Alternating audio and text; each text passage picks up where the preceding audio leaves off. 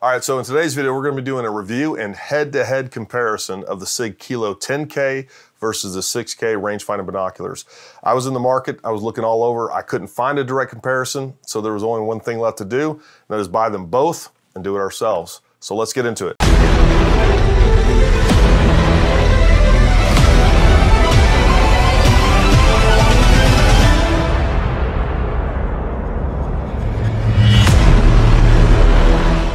Right, folks, so we're going to jump right into this, but I do want to kind of set some priorities because honestly, I think we could probably do a review video uh, every single day for six months and not cover all the capabilities of these. Uh, these have some uh, extensive electronic packages built into them, uh, ballistic computers, as well as being able to link up to other apps. But really, my priority when I was personally trying to decide between these two devices was A, you know, is it a really good rangefinder? Are they quick? Are they accurate? Uh, and B, you know, what type of optics do we have? Are these really good binos? I mean, that's really essentially what these are, right? A laser rangefinder with binos. Uh, and that's what I wanted to find out. So that's really where we're going to put the most emphasis on. But we are going to touch on the ballistic solution capabilities of both of these devices and what you need to do to make sure those solutions are accurate. Um, we're going to go through all the menus. We're going to explore all that stuff as well as how they interface with Kestrels, your phone, and other apps. And so we're going to get heavy into that. There's a lot to cover with these things. I'm going to put uh, you know chapter markers down below, as well as at the end of this, I'm going to provide a summary of what I think is really good about these devices, uh, why I would choose one over the other, if I would choose either one of those. Um, and again, if these are devices that we really like, we're definitely going to carry those in our online store as well. So we do appreciate the business. You know, when you buy from us, it does support us and the channel, and it really does allow us to continue to provide these educational videos for you so that we can provide you the information to make good decisions for you. That's really what it comes down to. So we appreciate the support and we appreciate when you purchase from us. All right, so I'm not usually big into unboxings, but I think when you're spending the type of money that you're spending on either one of these, as well as electronics in general, you kind of want to know what you're getting for your money, right? So we're going to unbox this so that you know exactly what we're talking about. We'll start off with the 6K. And obviously the 6K is a little less descript. You can see on the 10K, we got all kinds of, you know, marketing material, information. This is, the 6K is a little plain. So take that for what it is. I don't know what that means. All right, so this is what you get right here. We have a nice pouch. Got that. We'll get to that in a second. We'll go ahead and open this portion up. We got our battery right there. All right, so we got our chest harness here. We'll, we'll play with that a little bit later. All right, so we also have some, I don't know, some other interesting material, quick start information, instructions, things like that on there. Let's see what we have here. Just initial thoughts. I mean, it feels really solid. They feel like a really nice, um, again, it reminds me of the Vector and the Viper that we had in the military has the same build feel.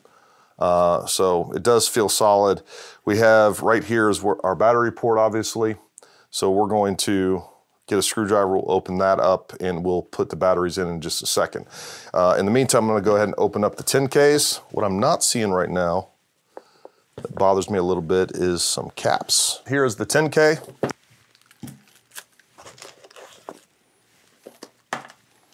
You get two batteries, and this one, you do get a wind meter with this as well. We will play around with that and compare it to the Kestrel, see what kind of readouts we get, and a much more robust instruction manual on here, which I'm sure we're gonna need that. I don't think there's any difference in specs. Um, I'll pull the specs up in just a sec after I get some batteries in them and we'll check that out together. All right, folks, so what we're gonna do right now is just kind of go through the specs of these. I'll make sure I post all this information up on the screen for you as well. Uh, just do a quick specifications comparison between these two and you can you know pause it, get a quick screen grab, whatever you need to do on that. Uh, so real quick, what these two have in common is both of these are 10 power by 42 millimeter objective lens. Now you can get the Kilo 6K in a more compact version, a 32 millimeter objective lens. Um, it can be tricky because more than once I saw the price for that and I was like, oh, they got it here for X. Well, it, it's a different beast altogether. And I'll tell you, just from really probably more personal preference uh, and experience, I guess, you know, the small price difference there is between the 42 millimeter and 32 millimeter. You know, that 32 millimeter is a much smaller lens, and I know what kind of impact that's going to have on image quality. personally, I would just go ahead and go for the 42 millimeter. I think there's a few other differences as well, but you can check that out. You know, maybe the 32 millimeter is perfect for what your needs are. Uh, but again, there's not that big of a price difference, and I will tell you, given that's a 10 millimeter difference in objective lens, it's gonna be a huge difference in image quality. It's just a fact. All right, so both these are the same size. They're 5.7 by 2.5 by 5 inches. Uh, you guys can see how big they are there. Uh, the weight on these are 32 ounces. Uh, the waterproofing, comparing these two. Folks, there's a big difference here. Uh, and this might be a big selling point or a reason to buy one or the other for you, but waterproofing on the 10K surprisingly is only IPX4. That means it's good for light splashes. It's moderately water resistant. Whereas the waterproof rating on the 6K is actually IPX7, which means it can be submerged under one meter of water for 30 minutes. So we have significant waterproofing on the 6K that we don't have on the 10K. Uh, that's actually a little disappointing. Uh, runtime on both of these, they're both good for 4,000 ranges. The diopter on both of these has adjustment plus or minus three, which is pretty good.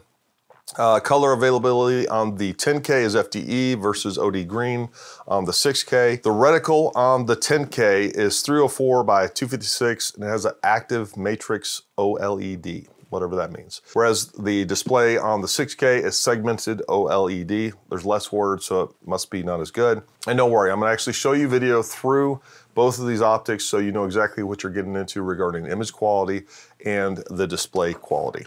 All right, so this is the big one, max ranges. On the 10K, we're looking at deer at 3,000 yards. Range on trees is 4,000 yards. Max reflective is 10,000 yards. On the 6K, we're looking at Range on deer, 2,000 yards, trees, 4,000 yards, max reflective, 6,000 yards. And again, those are things that we're gonna test, or at least we're gonna do our best to see how far we can get decent ranges on both of these and comparing, kind of contrast those two. Uh, there's a bunch of other mumbo jumbo when it comes to features. On the 10K, you're getting Gen 2 Lightwave DSP ranging engine with extended range mode. Uh, you basically get, looks like, they don't say it, but it looks like it's Gen 1 Lightwave DSP ranging engine. You have onboard environmental sensors for real-time ballistic calculations on both. You can drop remote waypoints with the Basemap app on both of these. I actually purchased that. We're gonna go through that and see if that is worth purchasing. Uh, there's a $39 a year version and a $69 a year version. I went ahead for you, purchased that $69 a year version. We'll go real quickly through that when we get to that point, and I'll show you the different uh, features on that. And we'll see, I have no idea, we'll see how useful it is in conjunction with these two devices.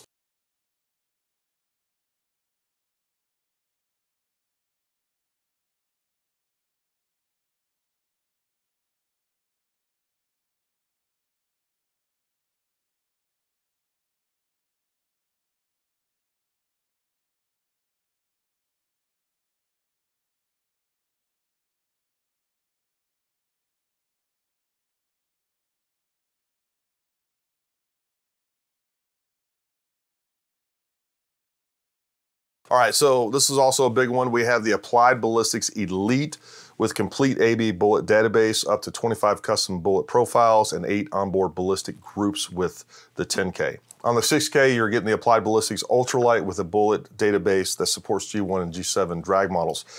So you're not getting the full capabilities of applied ballistics, but that might not matter. You might have it on your phone, you might have it on a Kestrel. We're gonna test all those things out. Um, I will say what that tells me is that if you're only using your rangefinder, you're basically being limited to around 800 yards on most shots. Uh, basically, the AB Elite includes support for Coriolis effect, spin drift, and other factors while providing custom drag curves for the most accurate ballistic solutions in the industry. So again, you're gonna be limited a little bit with how far you're gonna be able to shoot. But I'll tell you what, if you're a hunter, that's probably not that big of a factor. Most people aren't gonna be shooting any sort of wild game out to 800 yards and some would even say that'd be unethical to do so. You do you.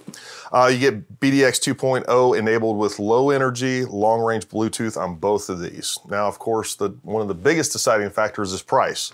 So the MSRP on this guy is 3249, $3,249. But the actual street price is around 2,500 bucks. Um, I don't know why they do that. Like, just, you know, you're not going to sell it for $3,200. The MSRP on this is 1689. $1,689 and the street price is 1,299 bucks. So you can get both of these. Uh, I will tell you right now, if we decide to carry these, they're going to be listed at the lowest possible price that we're allowed to advertise on our website. So you go to our website. If you decide at the end of this you want this, if I decide at the end of this we're going to carry these, and they're worth carrying because we're going through this together. I've never tested these. You see what I see. And if you want to know right now, you can jump all the way to the end of the summary, and I'll tell you my thoughts on both of these after all the testing that we do. All right, so a couple of things I want as I was pulling this out and uh, preparing for the thumbnail for this video. Uh, I put batteries in both of these. I just want to kind of go ahead and hit on some things that I noticed. Number one, as far as build quality, man, these things are unbelievable. And we'll go into more details on all the features. Basically, right here, we have a focus knob right there. And then, of course, we have our, di our diopter adjustment right here at the back. Um, build quality on these is great. I really like this. I just kind of looked through them. I found the reticle on both of these to see what that display looked like. Uh, they look great. Two things that I gotta go ahead and point out right now that that kind of irritate me a little bit is number one, they don't come with any sort of eye cups or anything like that. When you're hauling around glass this expensive, I at least want the option to be able to put on some eye cups. I don't know if those things are available aftermarket or not. If there's not, there should be. Uh, the other thing that I noticed that I'm a little disappointed in is that there isn't a mount where a quarter 20 mount that we can mount these on tripods. Of course, you can put them up on a shooting bag or something like that on a tripod. Uh, I do, I'm almost positive they do make a adapter to where it'll allow you to mount to a quarter 20. So that's not that big of a deal. The other thing that I don't like, that I'm not a fan of, is the fact that, and I'll show you right here, folks, right here is our battery compartment. It's the same on both of them. Um, I'm actually a little ticked off that that doesn't come with a built-in lanyard. Should they should have a cable on that thing. Uh, if you're having to change these out in the field and you lose that battery cap, well, you know, your match is over, your hunt is over, whatever else you got going on. There should be a cabled lanyard on that. So SIG, fix that. All right, so I think the only thing that's left to do from here is actually get it out and test it. Both the image quality, uh, I want to test the quality of the glass, see what kind of image. I have seen some moderate complaints in forums about that, especially on the 10K. Uh, we'll address that. And then of course, we're gonna go into actually testing the laser rangefinders on that, see if we're getting close to what you know, manufacturer spec says. I'll tell you, I have another SIG rangefinder. It was a pretty expensive model at the time when it came out. Uh, and when it came to its ranging capabilities, I was severely disappointed. So I'm trying to save you that same disappointment. So we'll test those. We'll see what we're getting out of these things. Hopefully it is pretty darn close to spec. Uh, and then the other thing I'll be doing is rigging up some cameras so that you can get a view through this and hopefully see exactly what I'm seeing. But uh, yeah, let's get out of the studio. Let's go test these things. All right, folks, so I shot this out of order, but I thought this was a, really important component of this review, and that was accessories. Because like I said during the unboxing, I was extremely disappointed in the lack of accessories uh, for these two units. And uh, you're getting ready to watch the field test video in just a moment, which I think you're gonna find pretty interesting to say the least. So stand by for that. But for me, if I couldn't put these essentially on a tripod, this was almost a no-go. So I did some research for you. I found uh, a really good solution for that. So first of all, we have the really right stuff. Uh, same item, two different versions of that. So we have the really right stuff Cinch LR, and then we have the Cinch LR Elite. The only difference between those two is one is polymer, this is the polymer one uh, that I have on this one as well. And then they also make the Elite, which is uh, machined aluminum. And the machined aluminum one, that's 125 bucks, and the polymer version is 45 bucks. I ordered both just because I wanted to see if there was any sort of difference, mainly when it came to performance, uh, rigidity, any issues mounted on a tripod or anything like that. The answer is there's not. Um, I there is absolutely no reason to spend the 125 bucks on this. This does everything that you need to do. It's as durable as you need, need it to be. It's as rigid as you need it to be. Both of these have the quarter 20 mounts on the bottom. Um, I think that the polymer is going to do everything that you need to do. Now, the Elite version is really nice. All right, it is. You know, if you like Gucci gear, that's Gucci gear. We don't sell those. I'll link both of those items below though. Um, I don't think that you need the aluminum version, but again, if you want it, it's there. Some people are gonna buy it and I get it. As far as lens protection goes, I didn't find a perfect solution, but I found a pretty good one. Um, it's actually a really good solution for the ocular lens. We have the Vortex rain guards for the Kaibab. Um, these fit perfectly like they were meant for it. Uh, we have some strap loops so that you can actually have your neck strap or this chest harness on there. Those work really good for protecting the ocular lens. As far as objective lens protection, I did find a pretty good option. It's not perfect, but these are the Vortex Viper HD 42 millimeter lens covers. Again, I'll throw a link down below. Uh, two issues with this. Number one, and I think it's a matter of you know, letting it rest there for a while, but I have had these lens caps kind of start to creep and squeeze off after a while. Um, and again, I think as they sit there for a little bit and mold to it, uh, that problem will go away. But unfortunately, these are not compatible with the Really Right Stuff Bino mounts. So just be aware of that. You know, especially with the 10Ks, which are kind of designed and built for competitive shooters primarily. Uh, I really do wish that SIG had made an integral mount uh, into the binos themselves that allowed you to use and, and included some lens protection on those. So they should have, uh, you know, built in a mount that was at least quarter 20, if not a Arca mount that allowed you to mount those directly to a tripod without any sort of adapters or anything like that. But it is what it is. And again, I wanted to make sure that I get that information to you because that was really important to me. And if I could mount those up to a tripod, like many of you out there watching this right now, um, you know, these would these would basically be a no-go for me.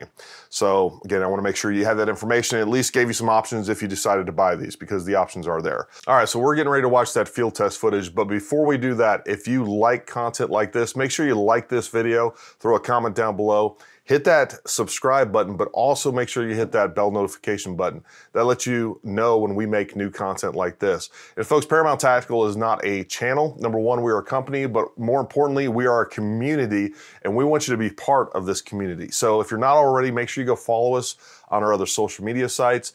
And every Wednesday at 7 p.m. Eastern Time, we have our live Dangerous Liberty podcast. We have special guests on all the time. We talk about guns, gear, training, politics, you name it, and just have a good time with it.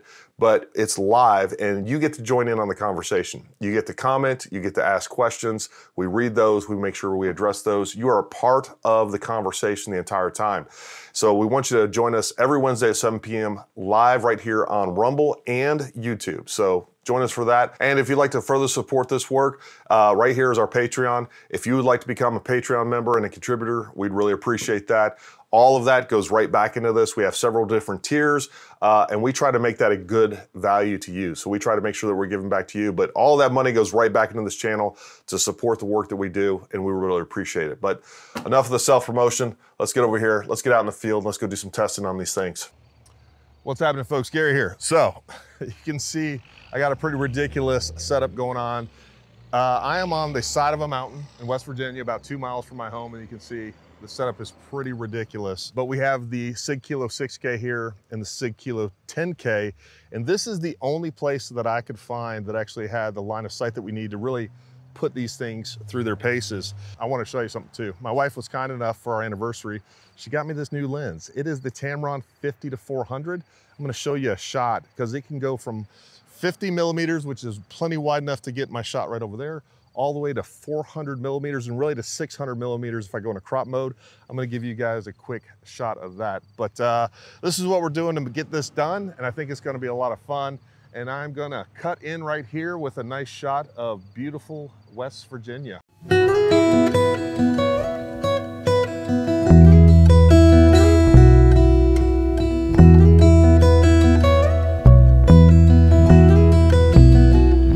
All right, folks, so this is actually a perfect day to test uh, any sort of optics. We got a lot of haze out there, it's cloudy, we got some changing light conditions.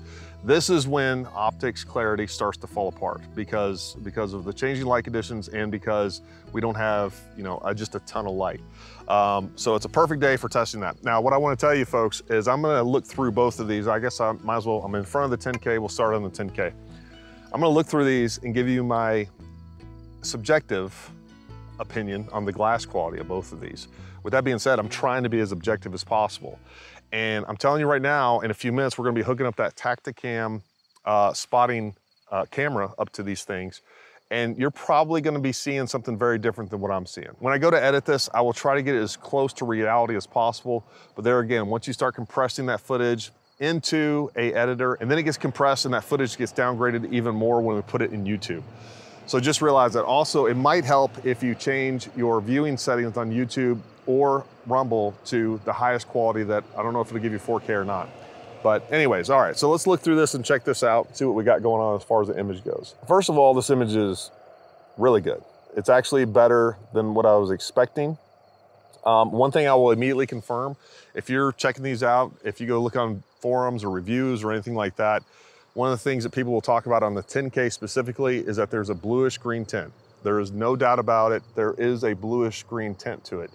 With that being said, I was expecting it to be, as much as I heard people complaining about it, I was expecting the image to be much worse. I'm seeing good contrast. I'm seeing good, I mean, just excellent detail on this. Um, I'm looking at these houses right now. I can see extremely good detail. I can see mirage. If I was spotting with this, let me see what this house is. Uh, this house, oh man, you got to see the display on this thing. It is actually pretty remarkable. So this house is 1824, uh, 1,824 yards that I'm looking at. Folks, I see excellent detail on that. And if I was spotting for somebody and they were shooting at a target at that distance, I would be able to see the trace on it. I would be able to see impact or miss. Uh, excellent, excellent. There's a greenish blue tint. There's no doubt about it. Um, is it as good as like a Leica GeoVid or you know a Swarovski EL? No, but both of those models are more expensive than this. So keep that in mind. All right, let's just do a real quick range finding, and then I'll have you, I'll do the exact same thing with you guys when you're looking through this. All right, so I'm ranging this house. This house is 1824. Got another house right here. That's 2313. Got another house over here or a barn. 20, that one's also 2323. This house is 1944. Push it out a little further. Dude, the menu on this is amazing. I, I love this menu. super easy to navigate through, unlike most rangefinders. All right, so let's try to get some a little bit further targets. I got a 44, 47. All right, so 44, 47 is the furthest target I've gotten a readout on.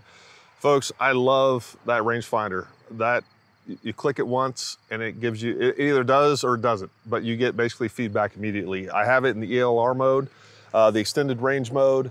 Um, you know, like I said, there's no doubt there's there's this bluish tint to it. I'm not seeing that as a major distractor.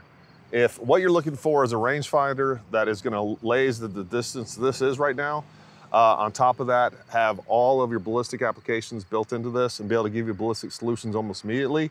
Um, I'm actually pretty impressed with it. I wish I could get out a little further. There's a, there's some, anyways, we'll, we'll show you that in a minute. All right, let's take a look at the Kilo 6K. All right, so as far as image quality, let me look at the exact same thing. Sharp as possible. All right, looking at that house. Maybe it's because of the slight green tint. The 6K does feel sharper, right? The image just a little bit sharper. Yeah, I mean, the image out of this is excellent. Uh, it definitely, the image quality is a little bit better out of the 6K than the 10K. The display on the 10K is amazing. As far as binos goes, these, you get better color, you get a little bit better clarity. This house is over here is kind of a, a yellow. Um, through here, I can kind of tell it's yellow, but because there's a, a green overlay or green tint, doesn't give you the most accurate color. There's no doubt about it but I still think everything in this is pretty usable. So take that for what it's worth. All right, so what we're gonna do now is I'm gonna just gonna pause real quick. I'm gonna throw the Tactacam up on this and uh, show you guys the difference. Hopefully we can get some really good, accurate footage through that. We'll see how it works. All right, so the first thing I really wanna show you is the display on this. The display on this one is absolutely phenomenal, but there is that house that was clearly yellow, and I'm gonna end up doing this side by side. So, uh, but check out that display, folks. That display is pretty freaking phenomenal. I'm gonna, all right, so I had to stop it right here and address this. Folks, this image that I'm showing you right now is not what I was looking at. It's not the same image that I, and you got to understand that folks. And I almost, I'm almost a little conflicted to even post this video. I'm going to, but this really does, you know, both of these optics a disservice. And this is the challenge of filming through an optic. Again, this is the device I was using, it's the Tactacam Spotter.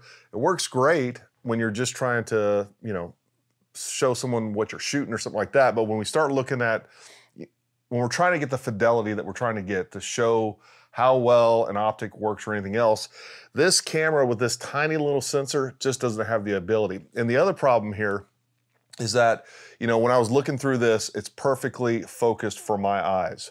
But then when I put this on there, the image is not focused for this. I think I clear this up a little bit later on and I, I dial in the focus because uh, we have this tiny little monitor on the back of this and I can only see so much detail on the back of this.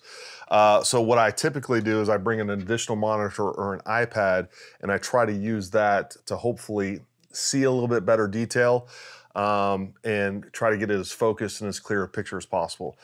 Uh, even the colors and everything else right here don't represent what you're really seeing through this. It is, it is a much, it is five or six times better in person than what you're seeing through this. And I just need you guys to understand that uh, with both of these optics.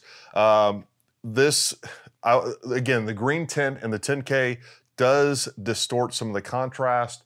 Um, it does distort some of the colors slightly, not nearly to this degree. And this is the major challenge of trying to do reviews on these different optics and then show the viewer what I'm seeing because all these different devices so far that I have bought to film through an optic just doesn't do that optic justice. Just understand the limitations of what we're trying to do and understand that it is a not a real representation of the quality of that optic. So just keep that in mind. So let's laze this thing. Look how fast that is, folks. That is super fast. Let me try to sharpen this image up. There we go. All right. Again, folks, that's another problem is like, you know, what is, and look, look at that image. It's, the, the, the display on this is awesome. So one of the problems when you're filming through here too is what is focused to your eye is not necessarily focused to the camera. So that's just one of the things that uh, we got to kind of deal with. But folks, the, the detail on this is still good, but you can see right here that yellow house, and I'll end up putting these images side by side so you can see the difference.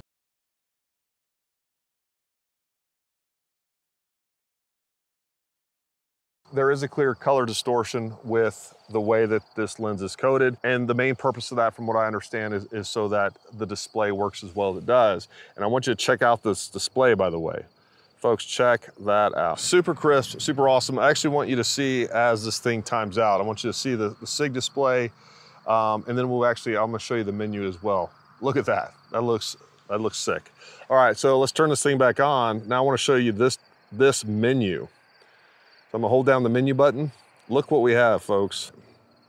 So we can go down here, we can see all the different things that we can change about this. Um, just super easy to use, much more intuitive and much easier to navigate than the 6K by far and, and most rangefinders in general. So we'll choose that, we're back here. So here we are folks. Look what you're getting, look at all the data that you're getting with this. Um, getting, you're getting the yardage, DA. Uh, if, again, it, I don't have anything programmed into here. I think there's some presets, some bullet presets, and I think it's on like, you know, 308 or something like that. But you're immediately getting the ballistic solution on that. You're getting the density altitude. We have the onboard electronics that are reading out our environmentals and stuff like that. So uh, very informative display. Right now I have the reticle set to where we're using a grid and or a mill pattern there. Let me, let me go through here. Let's see if we can't change these units real quick. We're gonna go, got it on range mode. By the way, on the range mode, I have it on the BDX Elite target mode. Right now I have it on extended range because we are trying to get as much range out of this rangefinder as possible.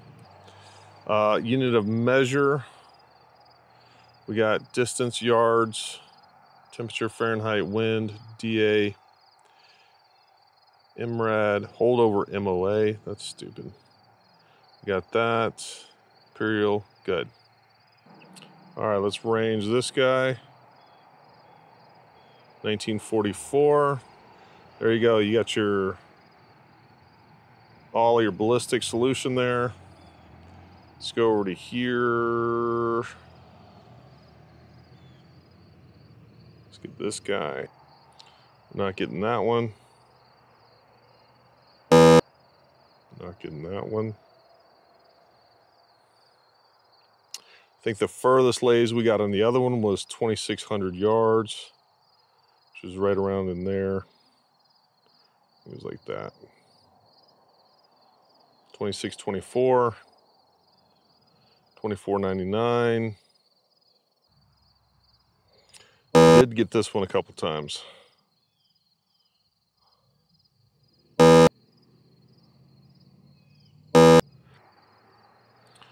Twenty-four sixty-seven. On ELR mode, you hold it down.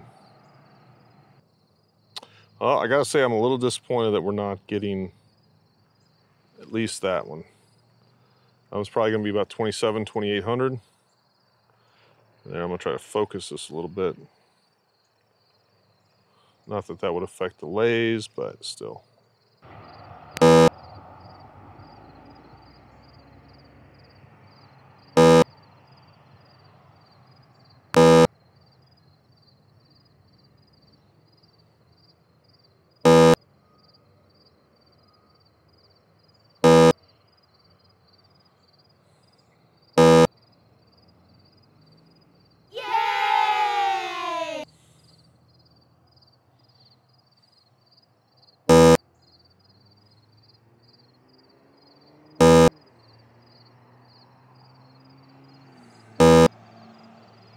When we zoom in, folks, you can see how clear this is. I'm, I'm gonna do it with the other one too.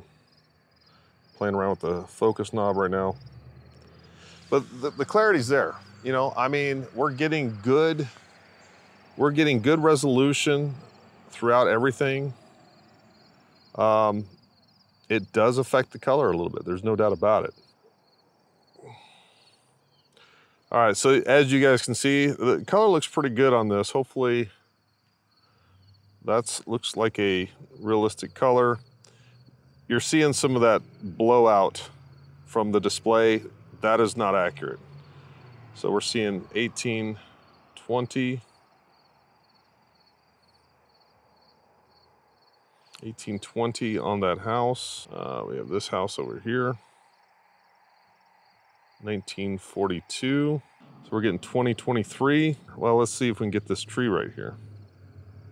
So that's 2497 to that tree.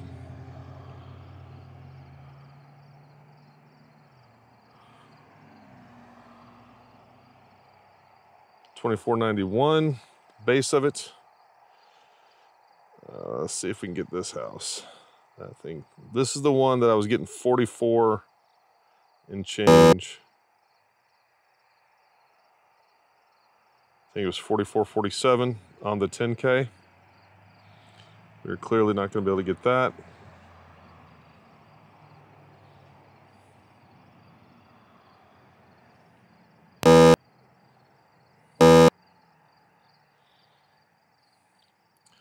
And then folks, here's the menu on this. So you can kind of, I'd have to get in there and actually play around with this menu. Uh, not all that intuitive. Let's see if we can get anything else here. 768, 91, 94.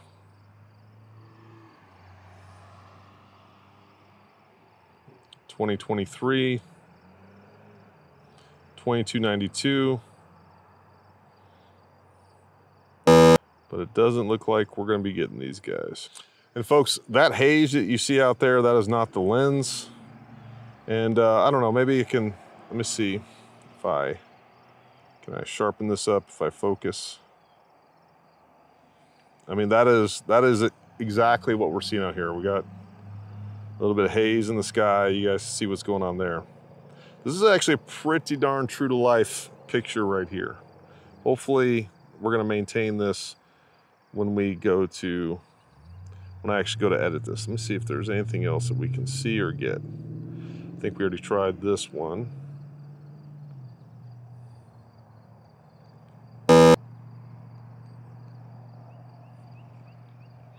Let's see if that's 2463 on trees.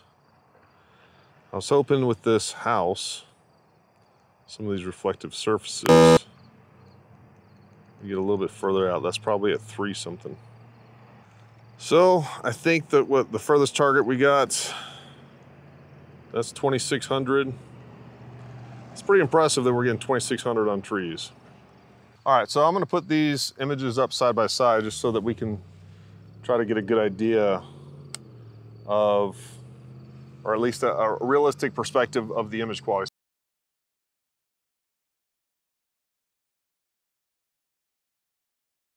You know, with the 6K, I think that you're getting a little bit higher fidelity on the image.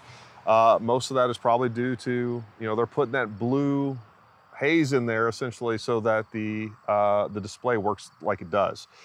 Um, with that being said, man, I, I, do like that display. I love the fact that that menu is so easy to navigate, uh, but I'm not gonna lie, I'm a little disappointed at the ranges that I'm getting on that. With that being said, we did hit 44, 47 once.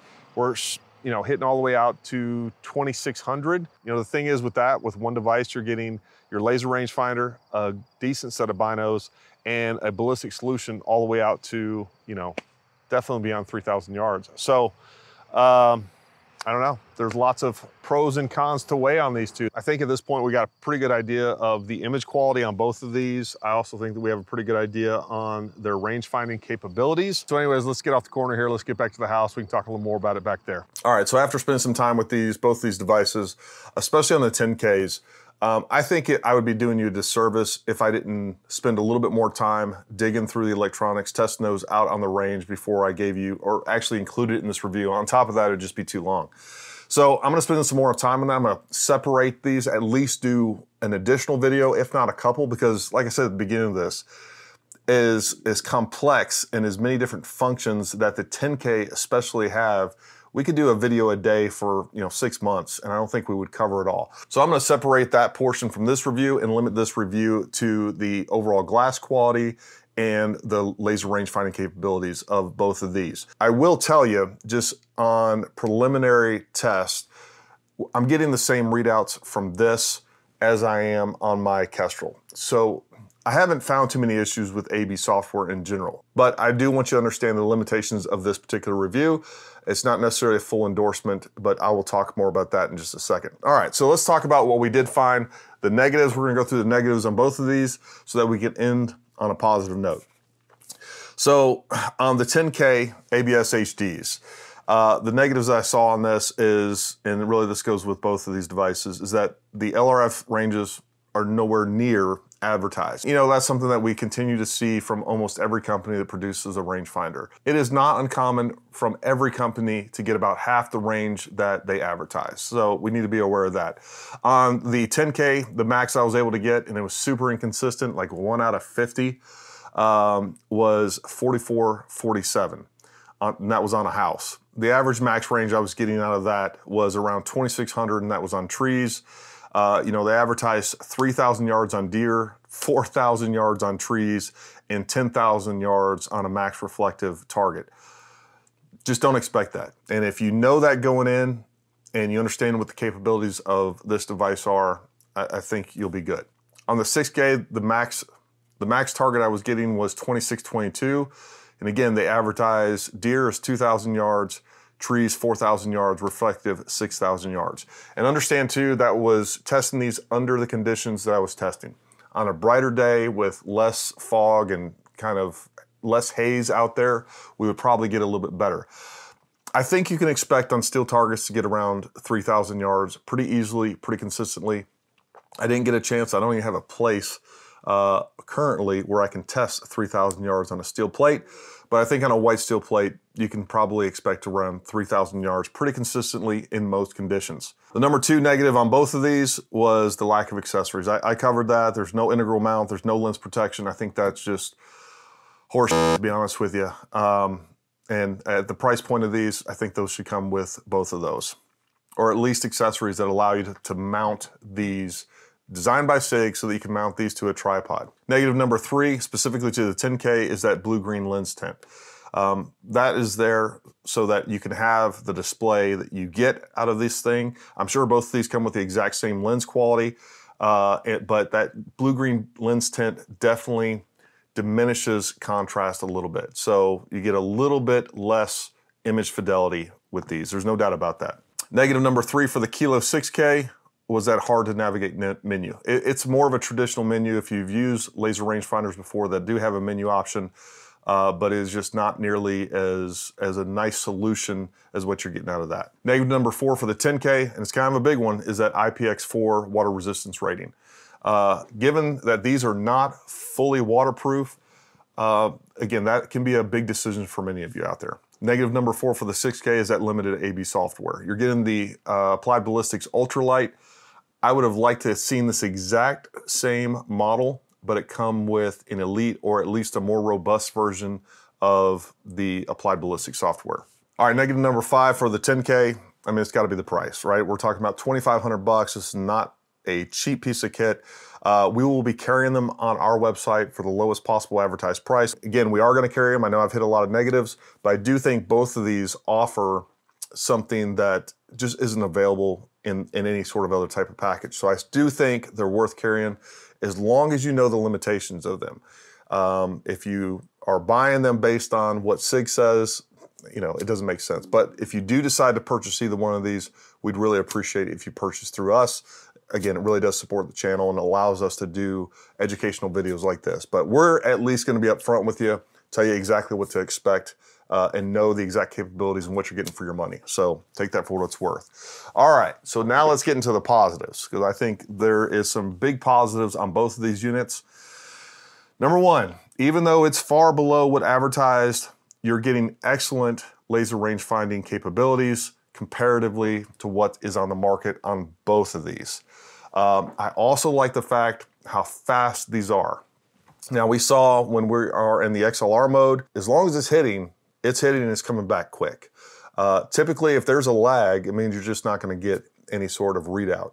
And it's trying, trying, trying, only to come back and tell you that it's not getting that readout and it's not able to get a range on that particular item. But when it is hitting an item that's going to give you a return on, both of these are extremely fast, and I like that. You know, going back to the 6K, I don't know if I covered it really well, but you know, we were getting the max 2622 on this. I believe is the furthest I was able to laze. But the fact of the matter is we were getting 2,600 yards regularly with the 6K. So, I mean, it's right there with this in those conditions. You got to keep that in mind. Laser rangefinders are going to give you different results in different environmental conditions. It's just a fact. But this was hanging right there as far as max range that we were getting consistently. So that needs to be part, or you at least need to know that when it comes to a factor in your decision making process. Both of them, I think, again, are giving us good laser range finding capabilities and, and, and covers 90 plus percent of all shooters out there. Most of us are not shooting out to 3,000 yards. Most of us are not shooting out to 2,000 yards. So having a device, regardless of what they say, is giving you consistent results. 2,600 plus is is again, it's a very capable unit. Something that would cost you 10 times the price just a few years ago in either one of these. Uh, positive number two for the 10K, the display and the menu. Folks, I love that menu. It's awesome. It's a heads up display. It's giving you all the information you need. I will take a little bit of degraded image quality for that menu. I love how easy the, the menu is to navigate, how easy it is to set up. Um, I love the fact that right in that heads up display, I'm getting our density altitude, we're getting direction, we're getting range, we're getting the bullet rifle information right there. So I know that I'm actually using the right setting and I'm using the right data for what I'm shooting. So I really, I love that. To me, that is a huge consideration and why, for my purposes, I'm a little bit more personally drawn to this one. So to me, that, that's a big deal. Positive number two for the 6K image quality. Folks, the image quality on this is excellent.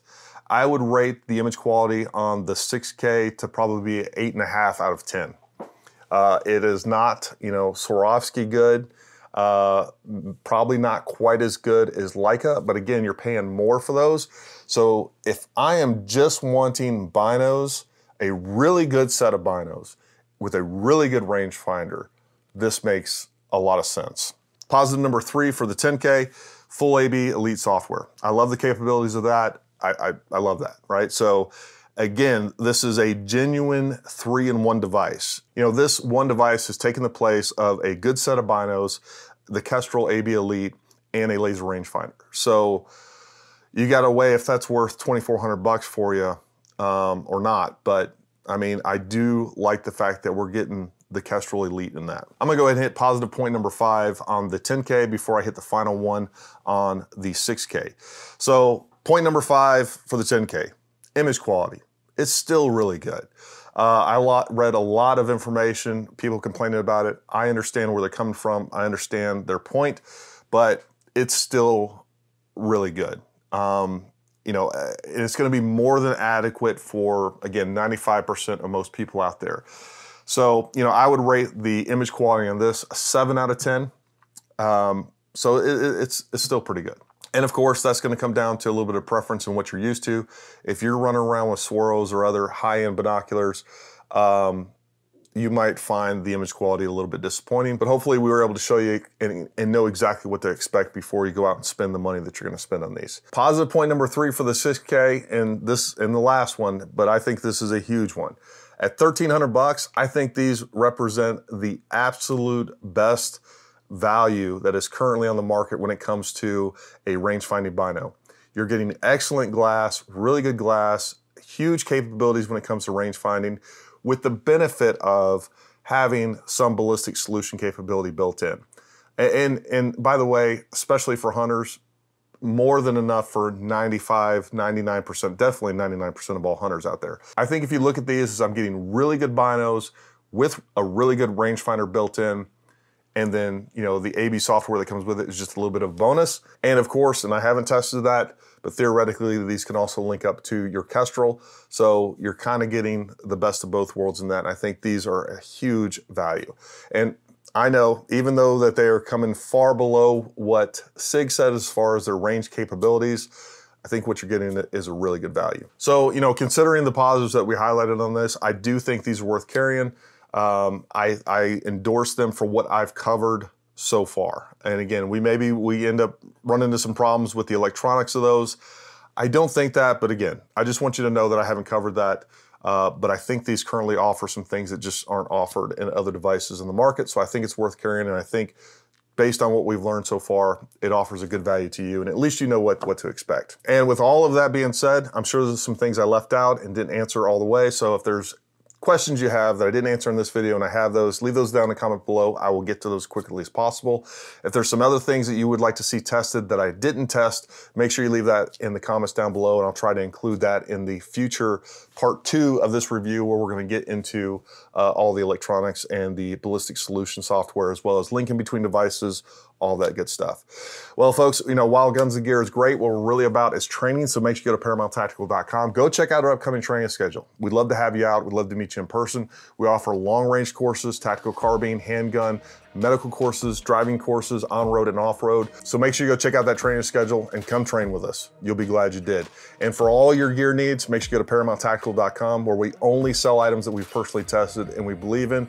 And we believe that everything we put on our website is a direct reflection of our credibility and our reputation so you can buy with confidence. But until next time, stay armed, stay ready. We'll talk to you soon.